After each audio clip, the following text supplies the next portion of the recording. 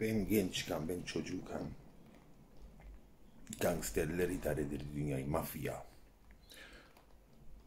Pablo Escobar gibi adamlar, karteller, siyasetçileri satın alırdı.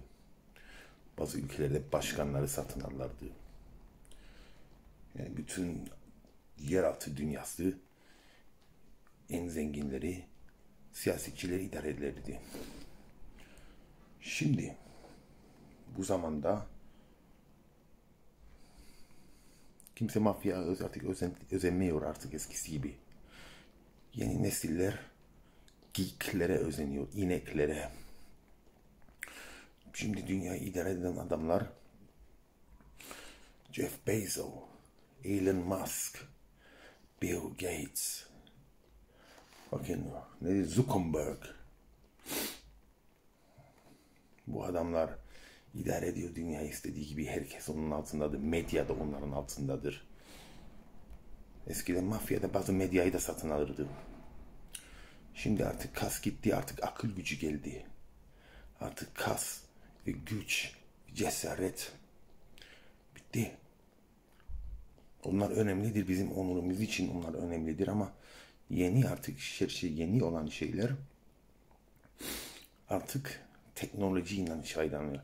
Ve düşün tuhaf değil mi? Bu korona çıkınca benim bahsettiğim zengin adamlar çok daha da zengin oldu. Biraz tuhaf değil mi? Ki Elon Musk belki de dünyanın en zengin adamıdır şimdi. Kripto currency'nin, kripto dövizinden dolayı.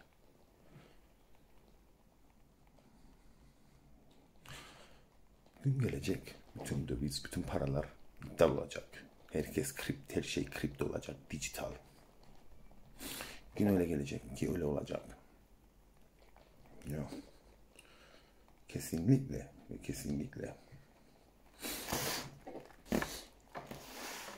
İngiliz hükümeti bile bir sürü batan şirketlere batmak üzere 100 bin pound, 200 bin pound, 50 bin pound sağa sola dağıttı. Birçok tanıdıklarım aldı parayı. Hiç kimse o şey, İngiltere hükümeti geri ödemeyecek. Çünkü herkes şirketi batırdı. Koronadan dolayı. Ama açık gözler ne yapıyor? Bazıları açık gözü olan kriptoya yatırıyor paraları. Artık bankalara güvenmiyorlar. Kriptoya daha çok güveniyorlar. Bankada faiz kazanmak ölü yatırım. Ya. Ve benim düşüncem bu, bu fırsatı şan, çok şanslı insanlar çıktı koronadan sonra. Ve o şansını değerlendiren insanlar gelecek yeni neslin elitleri olacak. Bu çap böyle dönüyor ve değişiyor. Ve her şey çok farklı oluyor. İnsanlar yumuşuyor, yumaş, yumuşak oluyor. Dediğim gibi artık insanlar mafya özeniyor, güce, çizeceğe, cesarete özemiyor. Zekaya özeniyor, teknolojiye özeniyor. Yani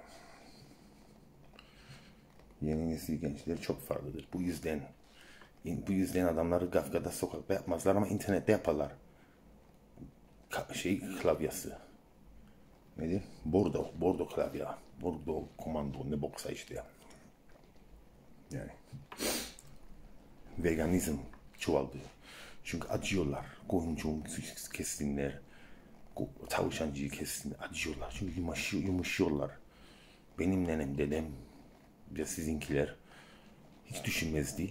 Koyunun huylarını, şeylerini, acısını direkt bam, keserdi kafayı. Yemektir o. Şimdi insanlar çok duygulanıyor. Artık hassaslaştı ortada. Artık şaka bile edemiyoruz. Şaka bile edemiyoruz. İnsanlar çok hassaslaştı. Feminizm artıyor. Erkekler çok yumaş, yumuşak oluyor. Birçok erkekler çocuk yapıyor kadından. Kadın da razıdır erkek baksın çünkü hükümet bırakacak da kendine ya da kendi kariyeri olabilir. Erkeğe ortak ihtiyaçlı değiller. Ama erkekler düşmüyor çocuğun peşine. babalık yapsın. O da terk ediyor, ip gibi gidiyor. Ne kadınlık kaldı, ne adamlık kaldı. Gidiyor, hepsi gidiyor. Çok farklı dünya gidiyoruz. Çok farklı dünya gidiyoruz. Artık Netflix'te dizinin onda yedisi homoseksüeller vardır. Ya bir homoseksüellik var içinde. Ne dediklerim doğru mu yanlış mı? Hem de hep bunlar hep son 20-30 yılın içinde başladı. Hep. 20 yıl önce evvel bir eşcinsel askere gidemezdi Amerika'da askere. Şimdi gider ve hakları da var. Evlenmek de artık yasal oldu. Yani dünya değişiyor. İyiye gidiyor, kötüye gidiyor bilmiyorum. Ama sadece ben bunu biliyorum. Ki artık kripto ve internet ve sosyal medya ve dijital yapay dünyaya iyice gidiyoruz. Ve bizim kazandığımız paralar, en büyük paralar buradan gelecek. Tıpkı Jeff Bezos gibi, Elon Musk gibi, Zuckerberg gibi ve Bill Gates gibi adamlar. Yeah. Tamam. Peace out.